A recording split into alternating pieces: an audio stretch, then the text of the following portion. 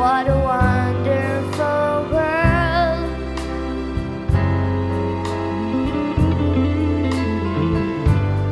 I see skies of blue,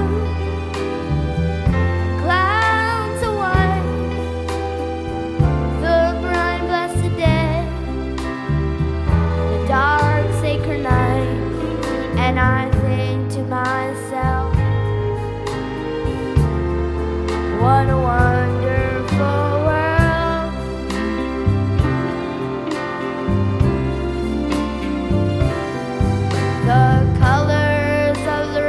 love.